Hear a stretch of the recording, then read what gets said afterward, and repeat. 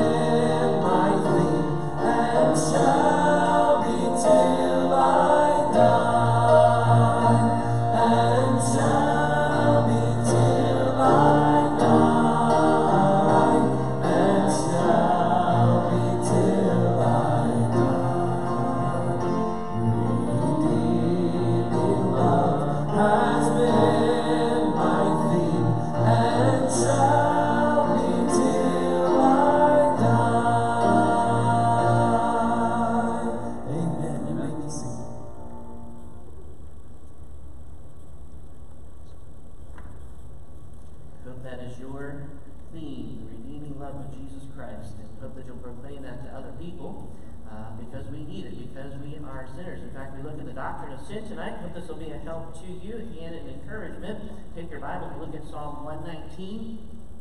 And verse number 11 is a verse that most of you are familiar with.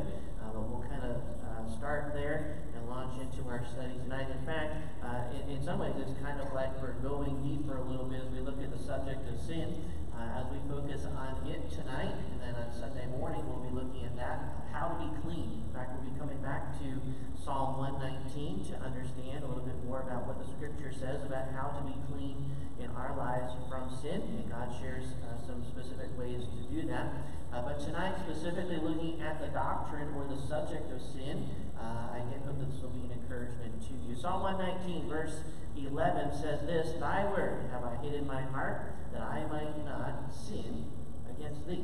Uh, when it comes to the Word of God, we understand that the Bible is powerful. Remember the great truth that uh, when it comes to the Bible, that it is um, uh, quick and powerful and sharper than any two-edged sword, uh, piercing even to the dividing asunder the soul and spirit, and the joints and marrow, and as a discerner of the thoughts and intents of the heart. In fact, the old adage, you can see this there on your sheet. It says this: uh, one of two things is going to happen.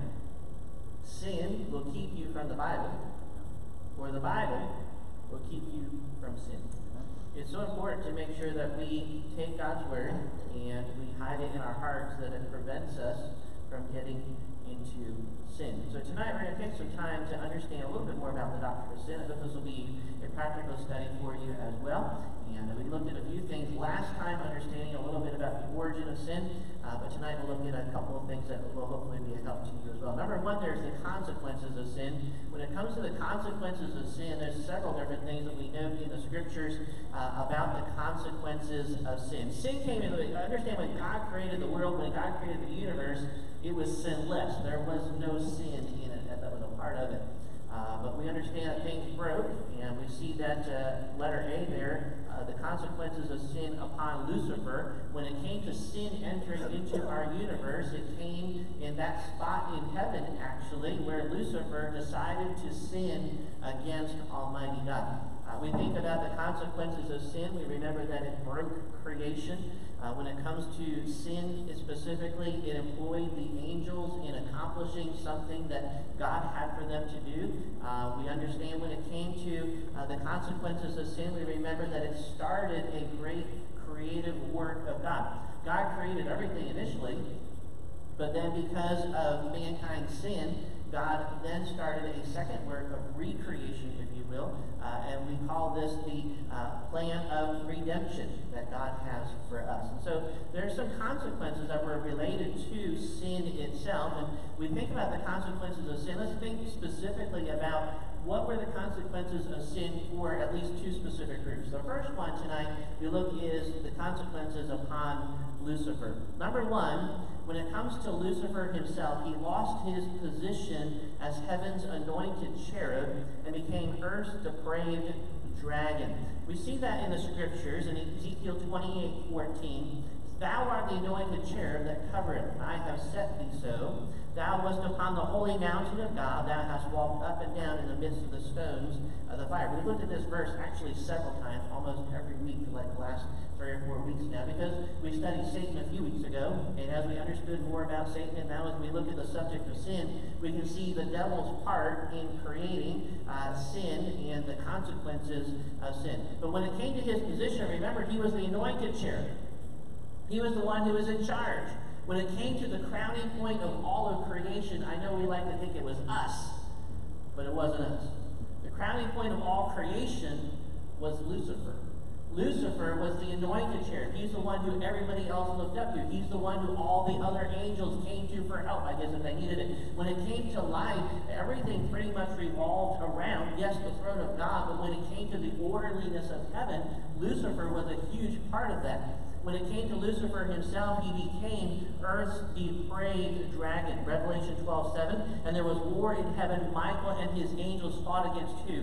The dragon, and the dragon fought against his angels. Now, we dealt with that several weeks ago, and I don't think we fully comprehend how much spiritual battle there is going on in our world, but we understand that when the devil fell, when Satan, when Lucifer fell, he became that great dreaded dragon. But number two, we learn about Lucifer. He will someday, we rejoiced about this uh, a couple of weeks ago, he will someday spend eternity in a lake of fire. Now, when it comes to people, we don't rejoice about other people spending eternity in the lake of fire. But when it comes to the origin of sin and what it is that the devil has done to us, how many of you are going to rejoice someday? I don't know if we get to pass him. He'll be chained and we get to pass him around. I don't know what it's going to be like, but somehow he was going to be cast into the lake of fire. Matthew 25, 41. Then he shall, uh, then shall he say also unto them on the left, uh, uh, left hand, Depart from me, ye cursed, into everlasting fire. We understand understand when it comes to this everlasting fire, here's what it says it's prepared for the devil and his angels. So all these demonic creatures and Lucifer himself are going to be cast into the lake of fire. Revelation 20:10 sums it up well. And the devil that deceived them was cast into the lake of fire and brimstone, where the beast and the false prophet are, and he shall be tormented day and night forever and ever. How many of you have had enough of the devil? Right? And uh, we think about this passage and it reminds us that just like the devil has tormented you every day, someday he is going to be tormented in the flames of lake of fire forever and ever. Now, we think about sin and original sin, how the devil really ushered it into the universe because of his rebellion. But let's also understand the very fact that through his rebellion, and then also mankind's rebellion, not just having an uh, sinfulness in the spiritual world, but also now being introduced into our physical world, realize that you and I are sinners as well. We have chosen to sin. And so that's the second category today. Uh, the consequences of sin, not just upon Lucifer, upon which we celebrate, but understand that there are also conditions or consequences that we face upon man or mankind tonight as well. One of the things that we understand in the first place is this. Upon mankind, there is physical death. You say, what is physical death? Physical death is this. It is separation of the body and soul. Uh, Genesis 2.17. You remember how in the Garden of Eden, it was said of this way, But of the tree of the knowledge of the good and evil, thou shalt not eat of it, for in the day that thou eatest thereof, God said, Thou shalt surely do it. Die. God said that we were going to die, mankind was going to die in the day that they ate of the tree, of the knowledge of good and evil. Chapter 5, and all the days that Adam lived were 930 years. You Can I say 930 years is a long time? Uh, can any, any of you imagine living 930 years? That seems like a really long time, doesn't it? But Adam lived 930 years. But he, catch this, he's still not living today. You know why? Because there's three words at the end of the verse I didn't read. And he died. Catch that?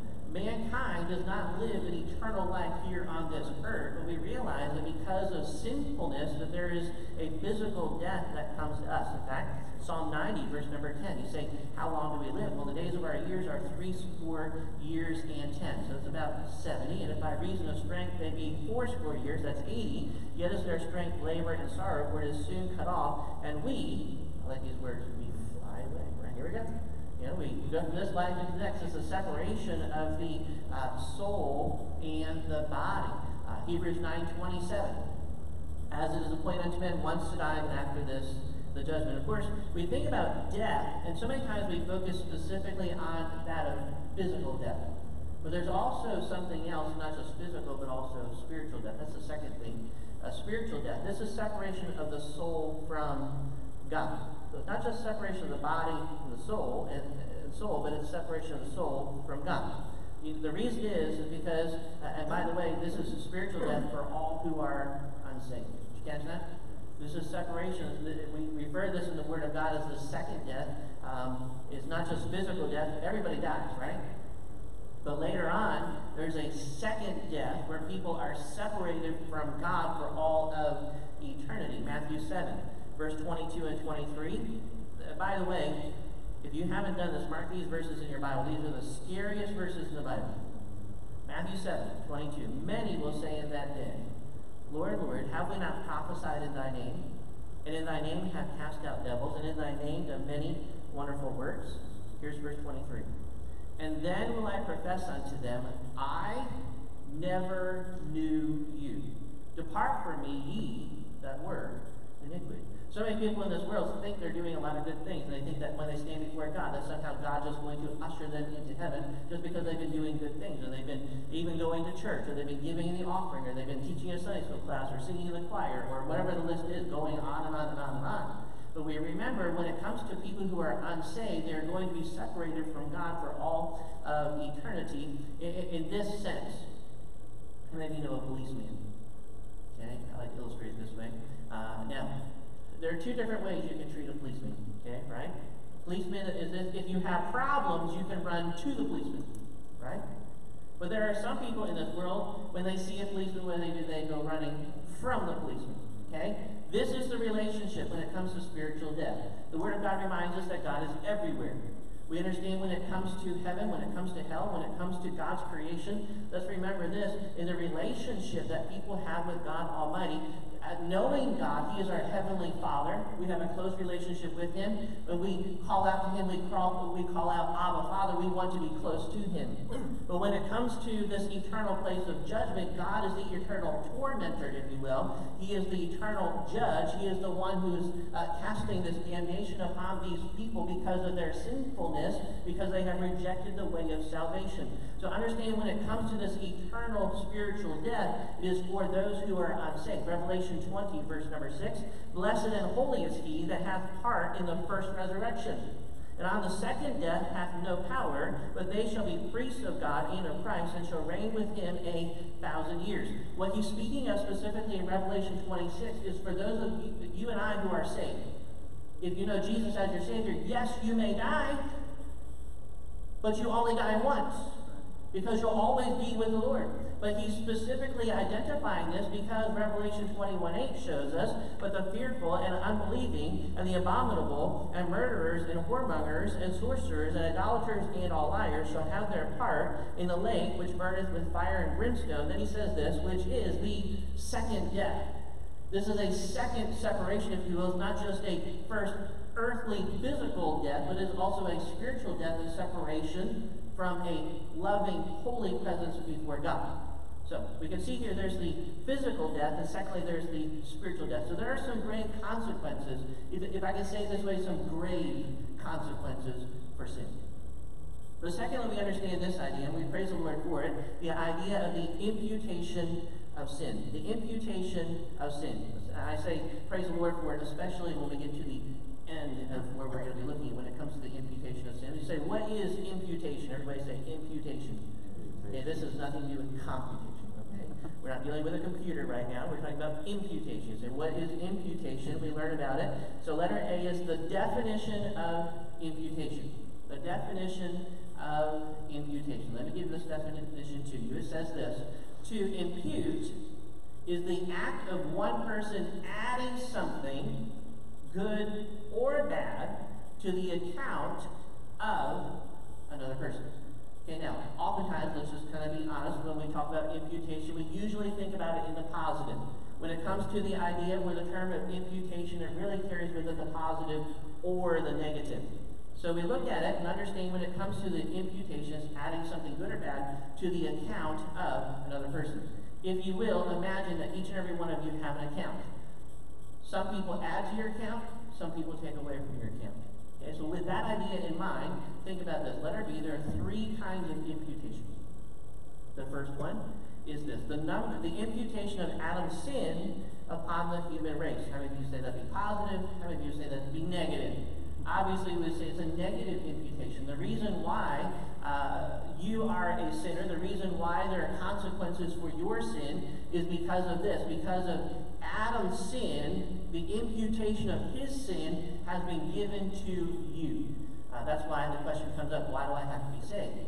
Well, you're a sinner because Adam's sin has been imputed to your account as well. You need to be saved because you are a sinner just like Adam was a sinner.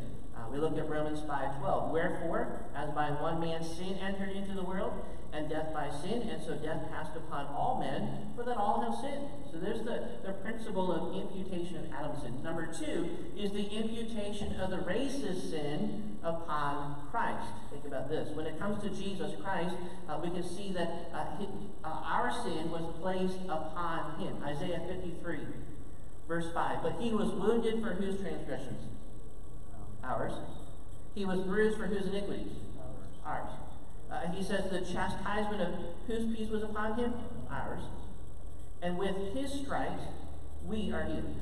When it comes to Jesus saving us, when it comes to his account, understand that he took upon himself willingly our sin. You catch that? He took our sin upon himself. Hebrews 2 9. But we see Jesus, who was made a little lower than the angels, which we studied the angels not too long ago. To think about this, the angels are still scratching their head, thinking God would make himself lower than the angels. Like, wow, why would he do that? Well, Hebrews 2 9 tells us why. Because he was made a little lower than the angels for the suffering of death, crowned with glory and honor. This is why. That he, by the grace of God, should taste death for every man. Taking your sin and his sin being placed, uh, our sin being placed upon him. 1 Peter 2 4. Who his own self bare whose sins? Our sins in his own body on the tree. That we being dead to sin should live unto righteousness. And he says this, by whose stripes ye were healed. So, number three. The imputation of God's righteousness upon the believing sinner. The imputation of God's righteousness upon the believing sinner. Now, I, I illustrated some of this uh, not too long, uh, too long ago. At Christmas time, I like to say this: God the Son became a son of man, so the sons of men could become the sons of God. See how that works? Okay, so this is the principle of imputation. If you were just born into this world, you are a sinner. But because of Jesus Christ and his work, he says, I take your sin upon myself. And guess what? I don't just take your sin, but I take my righteousness and I give it to you. Isn't that an amazing thing? Now, you say sin is a terrible subject. You're right, it is, except for the very fact that in the process of sin, if you will, in our lives, that Jesus has done an amazing thing. It is this He has taken His righteousness and He's given it to you. Now just look around, peruse the auditorium just for a second. I know you're wondering who was here anyway, right? So kind of look over your shoulder and see, now do they look like sinners or do they look like righteous people? Some look okay, but I know, a little rough on Wednesday. I don't know. Uh, but you look around, think about this. We are all sinners. But praise the Lord because of the great work of Jesus Christ. When God sees you right now, those of you who are in this auditorium, you know Jesus as your Savior, you're on your way to heaven, you say, I've blown it, I've sinned, I've said something, I did something, I went somewhere, I, you list it, okay? You don't have to say it all out right now. We don't want to celebrate it, but understand this. Whoever you are, whatever you've done, as God sees you tonight, He doesn't see your sinfulness. What does He see? He sees his righteousness. Isn't that awesome? That's the one thing that'll, that'll make a Lutheran shout. Amen? okay? When it comes to being excited about the work of God, let's praise God for what he's done. He is, we get to celebrate his forgiving power and righteousness in our lives. So number three, did I give that one to you? The imputation of God's righteousness upon the believing sinner the believing sinner. You catch that? The believing sinner. So, in this sense, it's not like I have to go to church in order to be righteous. I don't have to make hospital visits to be righteous. I don't have to help my neighbor to be righteous. I don't have to help somebody to be. No, no, no. Uh, in fact, the more that I try to do that without Jesus, the farther I'm getting from it. So, how do I get it? Believing. I trust in his righteousness that it can be mine, that he does this exchange where he takes my sin because he's paid for it, he takes his righteousness and he gives it to me. Romans 3, 21 and 22. But now the righteousness of God without the law is manifested, being witnessed by the law and the prophets, even the righteousness of God. Then he says this, which is by faith of Jesus Christ unto all, and upon all that believe, for there is no difference. Praise the Lord for that. There is no difference. You know why? It wasn't just for the Jews. It wasn't just for people living in first century uh, Rome. It's available to you and to me today. Salvation is available to everybody. So when it comes to salvation, praise the Lord for the great work that Christ has done, the imputation of God's righteousness upon the believing sinner. Have you believed? That's the question tonight. Do you know Jesus as your Savior? Have you trusted in Him? Or are you trying to get to heaven your way? Let me ask you which one's going to work. Your way or God's way? Let's do it God's way. Letter C. The classic example of imputation. Pick your Bible, look over Philippians, sorry, not Philippians, Philemon. Philemon, chapter number 1. Okay, so Philemon, we're going to read verses 10 through 19. We look at Philemon, and this is like the classic example of imputation in scriptures that help us understand this great, great Bible truth. Philemon 1, now like the second half of the New Testament is probably the best way for me to describe it to you. Philemon 1, or you have a table of contents in front of your Bible, right? So you're like, where is this? It's not a very big book, so you may pass it a couple of times. Philemon 1, and we're going to start reading in verse number 10. We'll go down to verse number 19 that ye may approve things that are excellent, that they may be sincere and without offense till the day of. Oops, that's Philippians. I'm not even there. Look at that. I know. I know. Well, I got it all right here. Okay. I have it printed out on my sheet. I beseech thee. Some of you are like, Pastor, he even makes mistakes. I will admit it, okay? I do. Uh, I beseech thee for my son, who, Onesimus, whom I have begotten in my bonds, which in time past was to thee unprofitable, but now profitable to thee and to me, whom I have sent again, thou therefore receive him, that is, mine own bowels, whom I would have retained with me, that in thy stead he might have ministered unto me in the bonds of the gospel.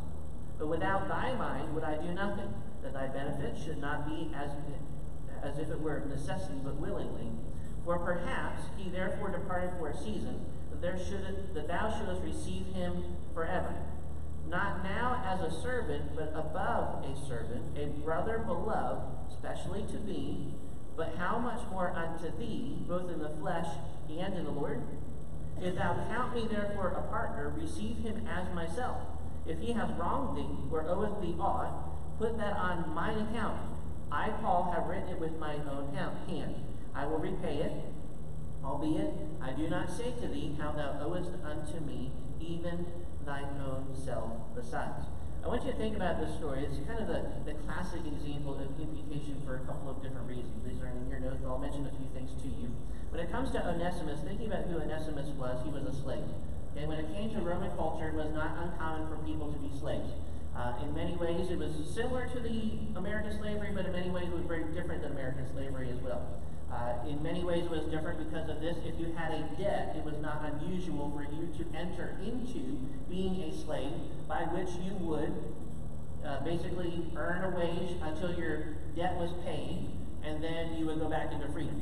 Okay? Or you've heard some people chose to be slaves the rest of their lives, and they had their ear pierced, and they had a ring, uh, earring put in, they stayed with their master. They chose to do so. And so there's different culture when it came to the day and age of what we think. We usually go back to early American uh, history, and we think everything was like that. It wasn't always like that, okay? Uh, it was a little different when it came to those things. But when it came to Philemon, he was a wealthy Colossian believer, and he was also uh, a friend of the Apostle Paul. When it came to Onesimus, he robbed his master and he ran away. So here's the slave, and for why he was a slave, we don't know exactly. He was paying a debt off or what the case was, and he basically took something and he ran away with it, and he disappeared. He split town. Now, in the providence of God, this is what's really, really cool. Onesimus and the Apostle Paul met up. And of course, Onesimus and Paul met up, and they start they started a friendship. The, the gospel penetrated the heart of Onesimus, and come to find out, Onesimus was a slave of one of the Apostle Paul's friends, and through that, all these connections are made. And so here, this letter, the letter of uh, is written to Philemon about this slave and trying to explain what was going on. By God's grace, Onesimus' path crosses with the Apostle Paul, resulting, resulting in his salvation. Paul is sending Onesimus back to Philemon, though, and this letter is being sent with Onesimus. Okay? So here it is, slave saved. He's headed back to his owner, if you will, or uh, the one who's uh, ruling his life at this moment in time. And this letter is there to uh, prepare uh, the way for Philemon uh, to accept Onesimus when he comes back. Now that, what has happened? Philemon is a Christian. Onesimus is a Christian. Doesn't make things really, really interesting. It used to be slave, owner, slave. But here we go. Here's the relationship in Jesus Christ. Now they are brothers in Christ, right? Okay, so you kind of get the, the these uh, these parallels that the Apostle Paul is showing. The Apostle Paul appeal, he appeals to Philemon to add the damages caused by Onesimus to the Apostle Paul's account. Okay, so Onesimus had run away with whatever he stole with from Philemon, and the Apostle Paul's over here, and he's saying this, hey, whatever it is that he stole, put it on my account. Okay, remember the idea of imputation? That's what he's saying right here. He says, put that on my account. And of course, you can see what happens now. Why? Because as the Apostle Paul had come into town, he had preached the gospel in Colossae, and that is why Philemon trusted Christ as his Savior. Now, hold on a second. You see all kinds of relationships here, here don't you?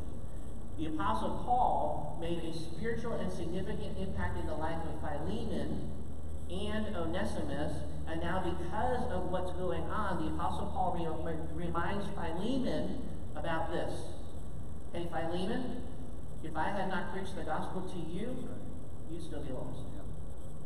And on that account, in verse number 19, is why he says those words right there. He says, I, Paul, I have written it with mine own hand, I will repay it, albeit I do not say to thee how thou oughtest, how thou owest unto me even thine own self besides. When it came to this relationship, we remember that Onesimus, he kind of owed things to his slave owner. But when it came to the slave owner, he owed everything to the Apostle Paul. You catch that? And of course, the Apostle Paul, he owed everything to Jesus Christ. When it came to these relationships, we understand this idea of imputation, this principle that's shown to us in the scripture, and how it is so, so, so powerful. So, imputation of sin. Here's a classic example of what it is that Christ has done for us. Sunday, I like to preach on that passage. Anyway, Roman numeral three. Why do Christians sin? You ever wonder why you're why you're uh, why you sin? You're like, Pastor, we get through the notes. I'm going to try to fly. Okay, I promise. Uh, why do Christians sin? You say, I'm a Christian, right? Uh, and you wonder why didn't you sin? Don't you have Jesus in your heart? Do you have the Holy Spirit inside of you? Is God all powerful? Well, if God's all powerful. Why do you still sin? You ever kind of play these mind games and uh, we kind of wrestle every day? How many of you are sinners? Oh, let me back up. How many of you are saved and you are a sinner too? Okay? That's all of us. We, we wrestle with this thing called sin. And by the way, you're going to. Um, and so why is it that we sin? Letter A, because of our sin nature. Psalm 51, 5. Behold, I was shapen in iniquity, and in sin did my mother conceive me. I know you look at your baby pictures and you say, oh, wasn't that cute? But guess what? You were a cute sinner. Okay? And uh, you're still a cute sinner. Okay? When it comes to life, remember that you are a sinner. Secondly, because of satanic temptation. 1 Peter 5, 8. Remember, the Apostle Peter, writing this, as a Christian, he dealt with the devil pretty regularly. Remember, the devil wanted to sift him as wheat? Even Jesus told Peter, Get thee behind me. What was the name? Satan. Can you imagine being called Satan? Sometimes Christians act like the devil. We look at the scripture, and, and because of satanic temptation, we face a lot of the, the devil doesn't like it when we do the right thing because it helps the testimony of the gospel. Letter C. Why do Christians sin? Because it appears exciting. Is sin fun? Yes or no? It is. If sin wasn't fun, you wouldn't do it. Right. Right? Is it a temptation for you to get a root canal? No. It's not a sin to go get a, a root canal, right? But it is a sin to, I mean, you fill the blank. There's all kinds of things that we like to, to sin. Uh, but it is exciting. Hebrews 11 25, uh, talking about Moses, choosing rather to suffer affliction with the people of God than to enjoy the pleasures of sin for a season. There's the example. Uh, letter D, because of spiritual ignorance. Spiritual ignorance. Remember the verse we started out with? Thy word have I hid in my heart that I might not sin against thee. You know why a lot of Christians sin? Because we're not in the Word of God. A lot of times we sin because we don't know what we're supposed to do, or we ignore the truth that we already know. Um, so there's uh, this part, 2 Timothy 2.15, study to show thyself approved unto God, a workman that needeth not to be ashamed. Why? Because we're rightly dividing the word of truth. If you're not rightly dividing the word of truth, if you're not in the word of God, that's going to make you to be an ignorant person. That's why one of the reasons, one of our biggest ministries we have here at Open Door Baptist Church, we organize things around our Sunday school. That's one of the reasons why we have a Christian school. That's one of the reasons why we have a daycare. You know why we do that? To help people to not just be here. They're not going to get the same spiritual influence sitting in a public school classroom as what they're going to get here. And so when it comes to helping people to know the truth of the scripture, that's why we do what we do. So that people can hear the word of God, so they can rightly divide the word of God, so they can apply the word of God to their lives. Because so many people sin because they are ignorant of spiritual truth. Letter E. Because it is a habit. A habit. Is it possible? I'll be honest, I've heard sermons about this. Is it that, that say that Christians can't not get into the habit of sinning? Is that the practical experience and the same practice that you have? No. We all sin. And there are certain things. In fact, the uh, Apostle Paul alludes to this, that there is a sin uh, that's easy for us to trip up on. Oftentimes, we have to make sure that when it comes to those sins, that we learn that there are things, some things in our lives that may be a habit, and we have to overcome those habits. What shall we say then? Shall we continue in sin that grace may abound? Romans 6 1. No, we ought not to. Uh, but oftentimes things can become a habit. Roman number four. What must Christians do with sin? Well, we're going to overcome the sins in our lives, letter A, you know this one, we must confess it. Confess it. When you're sinning, you need to admit that you are doing wrong. That's the first step in trying to overcome any specific sin. What does God say about it? In fact, that's what the idea of confess means. It means to agree with God. If you don't agree with God, then it's really hard to confess it. And, and by the way, this is not just a Lord, please forgive my sins. You ever done that before? You come to the end of a long day and you think, man, I'm just really, really tired. And you think, I know I need to confess my sins to the Lord, try to keep a short account with God. The Bible says, let not the, uh, your anger go down uh, upon your wrath. I remember exactly how that goes. You know the verse. Okay, so when it comes to that, you're like, okay, the principle is I need to confess my sins today, not carry today's problems into tomorrow. And so, Lord, just would you just please forgive all my sins today? It doesn't quite cut. You need to agree with God. You need to admit to God that what it is that you have done wrong. Um, so that's important. So, what does God say? By the way, don't ask the world what they say. Don't ask your flesh what it says. And certainly don't ask the devil what he says. Make sure you agree with what God says. Letter B, we need to forsake it. Forsake it. So not, not just confess it, but also forsake it. Isaiah 55, 7, let the wicked forsake his way, and the unrighteous man his thoughts. Let him return. We're supposed to go return unto the Lord, and he will have mercy upon him and to our God, for he will abundantly pardon. We shouldn't be afraid to go to God to confess our sin. He wants us to come. He invites us to be able to come. Uh, I know sometimes humanly we don't like to confess our sins to other people because of the embarrassment, those types of things, but God already knows. So when it comes to confessing, don't be afraid. Uh, in fact, there's a song, Do it now, don't delay. Don't put it off to another day. You know what I'm talking about? Okay? Uh, so when it comes to, that's an old Patch, Patch the Pirate song. Anybody remember Patch the Pirate? And uh, along the ways uh, there. But uh, don't delay. So many times we procrastinate. That's another song, procrastinate. Anyway. Um, but when it comes to our sin, let's make sure that we forsake the sin. Let's, letter C, we need to learn to hate it. Everybody say hate it. Hate sin, the less you're going to get involved. The problem is we like to pick and choose. We see sins in other people's lives that may not be a temptation for us, and those are the sins we hate. But then there are other temptations in our lives that are like, oh, I really don't hate this one. So we need to learn how to hate sin. Proverbs 8.13. The fear of the Lord. Doesn't the Bible say we're supposed to fear God? The fear of the Lord is the beginning of knowledge. The fear of the Lord is the beginning of wisdom. The Bible says that in Proverbs, but Proverbs 8:13 says this, the fear of the Lord practically is to hate evil. He says pride and arrogance and the evil way and the forward mouth do I hate. God says he hates it. And if God hates it, it's probably a good indication that we should hate something too. Listen, Pastor, I thought we're a Christian. We're not supposed to hate anything. That is not true. There's a lot of things we're supposed to hate.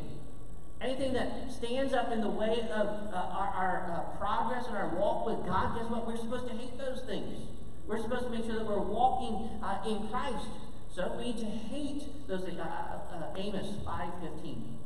God says this, hate the evil. Everybody say that. Hate the evil. Hate the evil. Are you hating evil? Now, on the flip side, there's something else. We're not supposed to just hate the evil, but we're supposed to love the good and establish judgment in the gate. It may be that the Lord, the God of hosts, will be gracious unto the remnant of Joseph. Basically, this verse says this we're supposed to be good at discerning what's good and what's evil. Are you establishing good judgment in your life? What? Pastor, we're not supposed to judge. You see how when it comes to the subject of sin, how it really invades so many of these territories in our lives that we just kind of like to push away so we can justify our sin a little bit? Don't judge me. You know, somebody says, you shouldn't be doing that. Don't judge me. Right? That's what we do. Do you know why? For this very reason, the same reason that Adam and Eve ran when, G, when the Lord came to the, the garden. Adam, where are you? He hid. Do you know why? He didn't want to be judged of God. Why did Eve hide? Why did they make these, these clothes out of fig leaves? Because they didn't want to be judged for being naked. They weren't supposed to be. Well, could have been. God created them that way. But all of a sudden they realize it, like, whoo, something different. I feel a breeze today. I don't know what's going on. No, I don't know. Yeah, so all of a sudden it's like all God trying to work through this. He's trying to remind us we're supposed to hate sin, but as we hate sin, it's because we're making a good judgment about life. What's truly going on? Do you know what the problem is with all the stuff that's going on in the news and in people's lives right now? There's all kinds of opinions. We're making all kinds of judgments, but we're not coming back to the truth, and we're not discerning what is right and what is wrong, what is good and what is evil. Hey, every one of these issues, gun controls, more guns, less guns, all that kind, it comes back to a heart situation. What's the condition of the person? What's the condition of all these things that are going on in our world? We need to make sure that we deal with the person more than dealing with the circumstances. This is all, all this other stuff, all these circumstances that are going on in the world, these are things that are peripheral to the heart issue of mankind, which is mankind is a sinner. Some of you are teachers, you know that. You teach them every day in your classroom, don't you?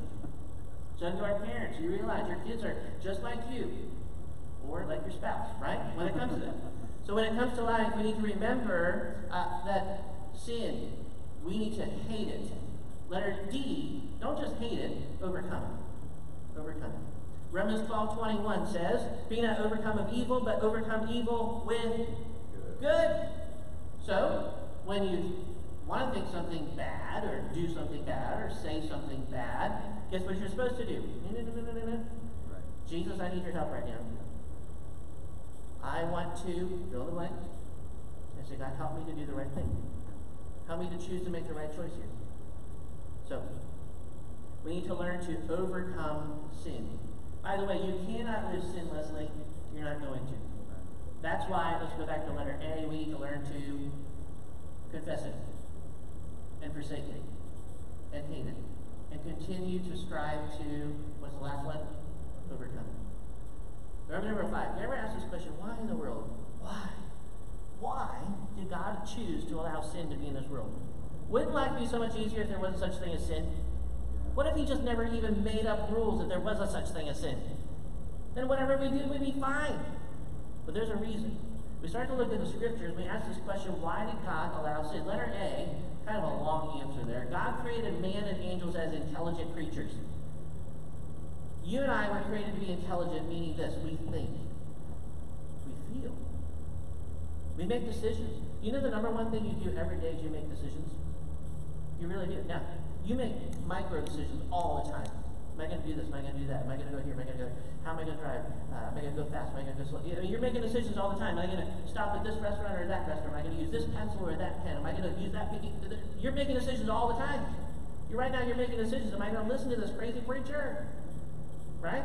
When it comes to thinking, you are an intelligent person. God created you to be able to think so that you could determine and choose between right and wrong.